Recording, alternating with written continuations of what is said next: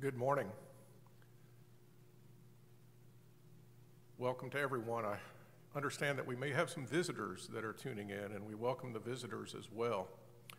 Uh, just got a text from Brent just a moment ago and wanted to remind everyone that uh, there is the opportunity to participate in the Bible classes online. If you weren't able to do that this morning, uh, you can do that once again on Wednesday evening, and I'm sure you'll be seeing some communications via email, uh, possibly by text as well.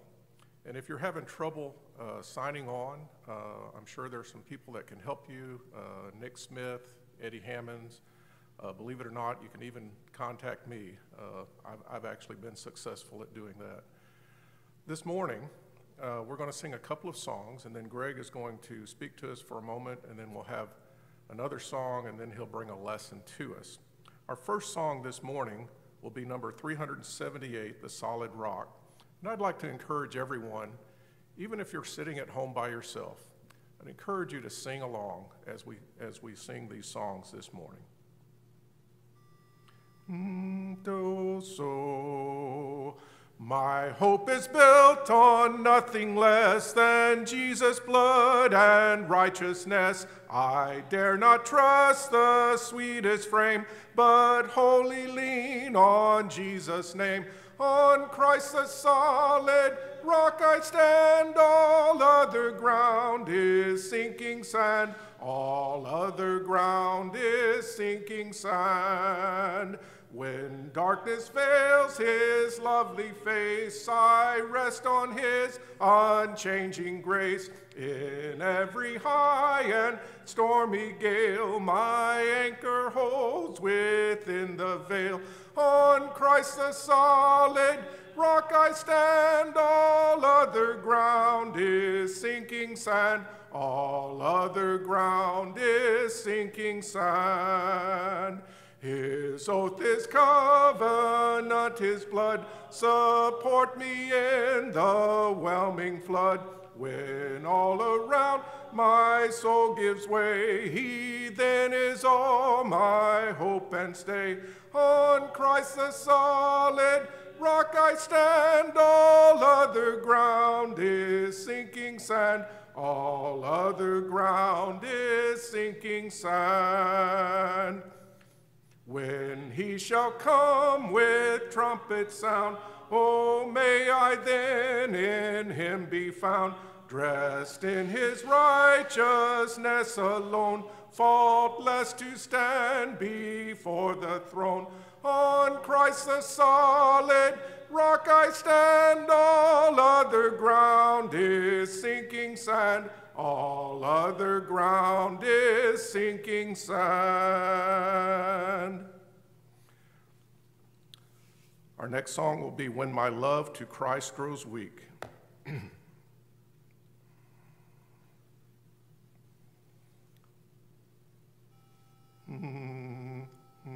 Do me when my love to Christ grows weak when for deeper faith I seek, then in thought I go to thee, Garden of Gethsemane. There I walk amid the shades, while the lingering twilight fades. See its suffering, friendless one, weeping, praying there alone. When my love for man grows weak, when for stronger faith I seek, hill of Calvary I go to thy scenes of fear and woe. There behold his agony suffered on the bitter tree. See his anguish, see his faith, love triumphant still in death. Then to life I turn again, learning all the worth of pain, learning all the might that lies in a full self sacrifice.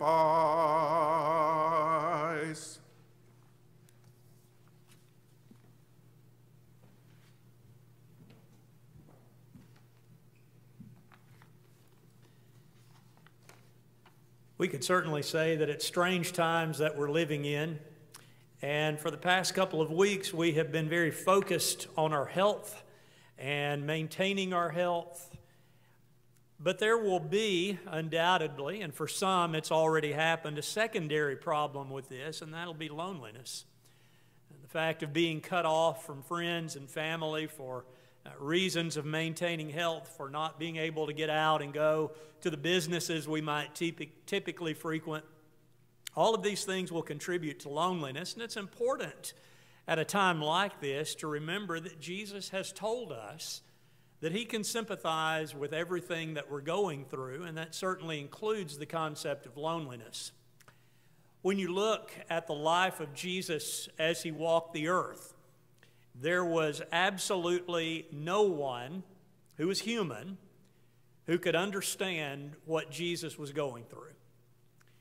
And so, even his own family didn't really understand who he was or understand what his mission was. In fact, in the Gospel of Mark, I'm looking to chapter 3 as we read about some of the things going on with his family. First of all, in verses 20 and 21, Mark records for us Then he, Jesus, went home, and a crowd gathered again so that they could not even eat.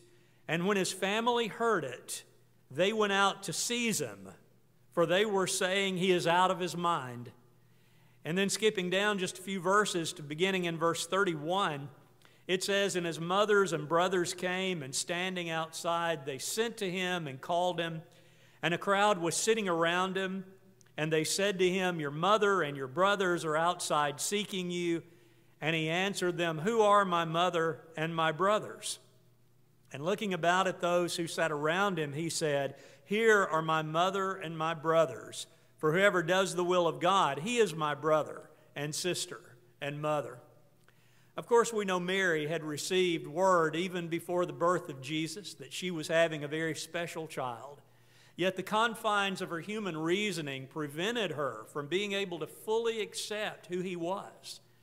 And so one could imagine of the, the comfort that typically is felt from family members who can sympathize and perhaps even empathize with situations we're going through.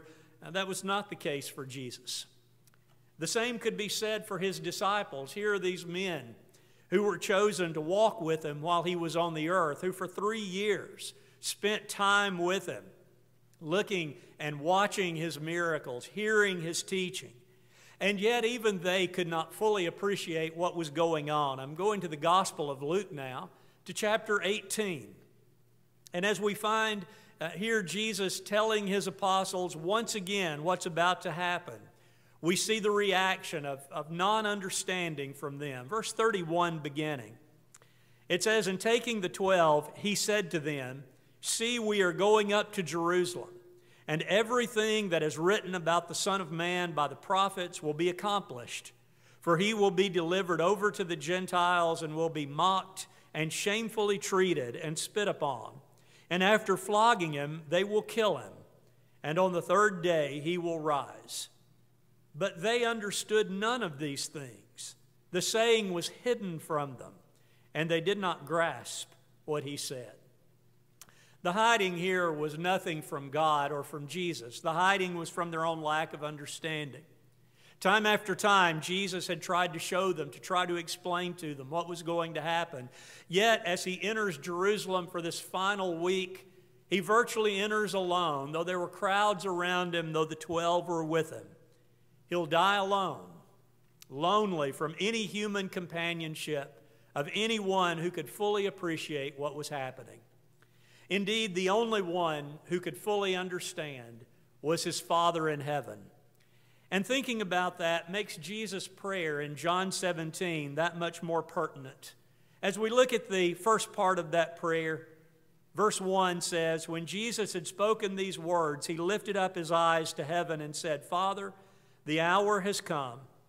Glorify your Son, that your Son may glorify you, since you have given him authority over all flesh to give eternal life to all whom you have given him. And this is eternal life, that they know you, the only true God and Jesus Christ, whom you have sent, I glorified you on earth, having accomplished the work that you gave me to do. And thus Jesus went to his cross, void of human companionship, void of those who fully appreciated the mission that he had been given to do. This morning, as we come to a time of partaking the Lord's Supper, we remember that its primary purpose is to help us to remember the great sacrifice that was made for our sins, that Jesus died on the cross, so that by his blood we could enter into a new covenant, to remember his body, to remember his blood of that covenant.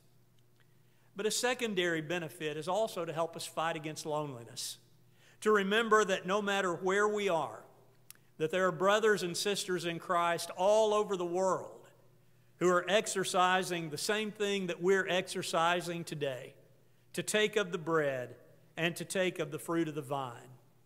That though we may not be able to see them, we know that they're present and that their hope is our hope. But ultimately, it's to help us to remember that God has not left us alone. In fact, as Jesus was instituting the Lord's Supper, he said to his disciples in Matthew chapter 26 and verse 29, I tell you, I will not drink again of this fruit of the vine until that day when I drink it new with you in my Father's kingdom. When we partake of the Lord's Supper, our Lord is with us, and thus we are never alone. And so this morning, as we prepare to partake, I encourage you to remember His presence to remember what your brothers and sisters throughout the world are doing today as you're doing in remembering. And though you might be feeling lonely, to remember that God is saying, Really, you're never alone, that I'm with you. Let's bow together as we give thanks for the bread.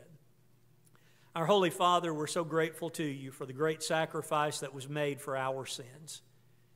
Father, we're thankful to you that this death means that we can live that we have opportunity to, by his sacrifice, have our sins forgiven. We're so thankful for our Lord. And we pray, Lord, as we partake of this bread this morning, that you will help us to put this in our minds, to realize the great price that's been paid for us. Thank you, Lord, for all that you do for us. In the name of your Son, we pray these things. Amen. We'll now pause for just a moment while we partake of the loaf.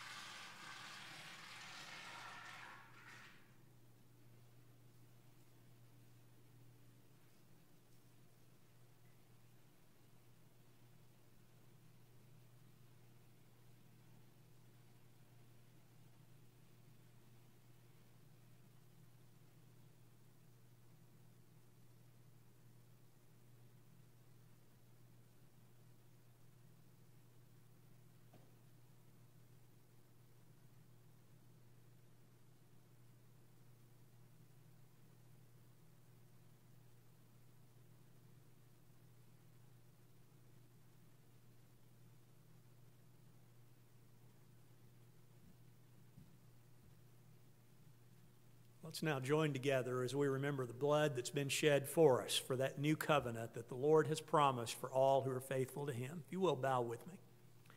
Lord, thank you so much for the great sacrifice that's given for the death that Jesus died on the cross for us. And we're so thankful, though horrified by what had to be done, because of our sins, that you loved us enough and showed your grace and your mercy, that you would allow blood to be shed as that perfect sacrifice to join us in this new covenant.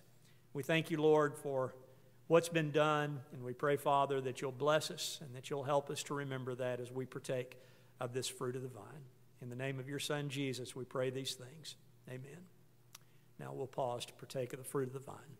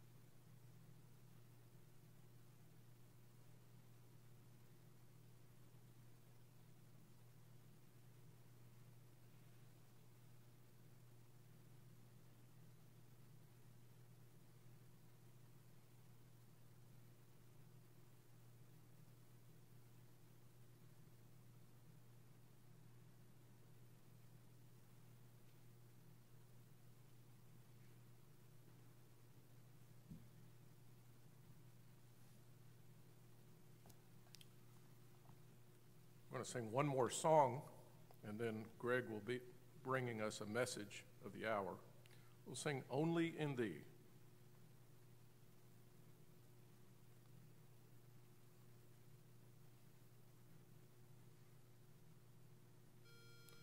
Mm, so me. Only in thee, O Savior mine, dwelleth my soul in peace divine peace at the world, though all combined, never can take from me. Pleasures of earth so seemingly sweet fail at the last my longings to meet. Only in thee my bliss is complete. Only, dear Lord, in thee only in thee a radiance bright shines like a beacon in the night, guiding my pilgrim bark aright over life's trackless sea. Only in thee, when troubles molest, when with temptation I am oppressed, there is a sweet pavilion of rest. Only, dear Lord, in thee, only in thee, dear Savior slain, losing thy life, my own to gain trusting I'm cleansed from every stain. Thou art my only plea. Only in thee my heart will delight, till in that land where cometh no night, faith will be lost in heavenly sight only, dear Lord, in thee.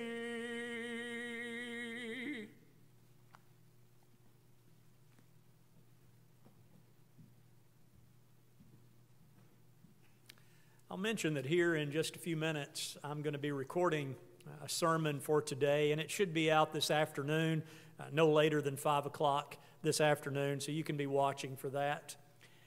When we think about loneliness, there are a lot of sad things about loneliness, but one thing that it may help us to realize is what it means to truly be without a relationship with God. To think about it in those terms, to know that Jesus is not with us because we're not with Him, to think that the Father and the Spirit are not with us because we are not with them, should leave us with a feeling of great loneliness. Uh, and that should be an overwhelming feeling to us. I was thinking about an old song, an old hymn. It's been around a very long time that was written by Mary Slade. She entitled this hymn, Who at My Door is Standing? And in one of the lines of that hymn, she recorded these words Lonely without, he's staying. Lonely within am I. While I am still delaying, will he not pass me by? Her message, I think, is very clear that here is the opportunity to end that loneliness, to invite Jesus to be a part of our lives through becoming a child of God, becoming a Christian. And yet, it's as though, metaphorically speaking, we're staying behind closed doors. We're unwilling to open our lives to Him. And the idea of her theme, of the theme of her song is why are we doing that? Why are we leaving him standing at the door? We do not want loneliness. We don't want anything that's going to lead from him departing from our door. And as I think about these words that were written, I feel quite confident that the hymnist certainly had Revelation 3 in mind with Jesus standing at the door of the church of Laodicea. And in verse 20, Jesus makes this statement to them. He says, I stand at the door and knock. If anyone hears my voice and opens the door, I will come into him and eat with him, and he with me. Here, Jesus promises fellowship to those who will open the door, but that's our decision. As we've noted in the Lord's Supper this morning, God has done everything that He can do to bring us the opportunity to be saved from our sins, to be rid of the loneliness and isolation of a life without Him because we've cut ourselves off from Him. But that doesn't have to be the case. We don't have to be lonely. That door can be open. We are currently living in rather strange times, but I can assure you that if all of this uncertainty that we are all experiencing has led you to really wonder about your relationship with God and to understand that without baptism you're not going to be saved, that you can indeed be baptized. And all you must do is let me know or let one of our elders know, and we will make arrangements as quickly as we possibly can to bury you in the waters of baptism for the forgiveness of sin. So don't allow excuses, even one as great as what we're currently facing to keep you from doing what you know needs to be done. Maybe in loneliness, you have been reflecting on your life and you realize that there's things that just simply are not right. If those involve another person, why not take the time to pick up the phone and to call this person to straighten things out, to pray together, to reattach that relationship that's been broken? If it's something in your own private thoughts you've done in sin against God, take the opportunity to, to pray to Him. If you need others to share with you in this, again, I certainly will make myself available. The elders of this church, and indeed any of the members of this congregation, would be happy for a phone call to take place to pray together. Whatever it takes, let's not make an excuse in any way shape, or form, or at any time, no matter what's happening, to keep from allowing Jesus to come into our lives. Thank you so much for tuning in this morning to join us in this time of worship together. At this point, we're going to conclude our broadcast with a prayer, and we'll ask Noble to come back to the mic, and he'll lead us in that final prayer.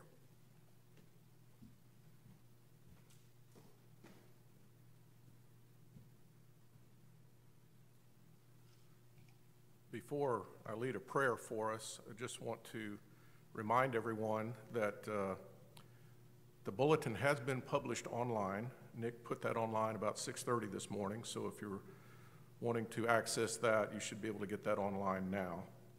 And also, just as a reminder, once again, if you're having trouble signing on uh, to the Bible classes or to this live feed, there are several that are willing to help. All you need to do is reach out, and uh, there are others that would be glad to uh, help you with getting that set up.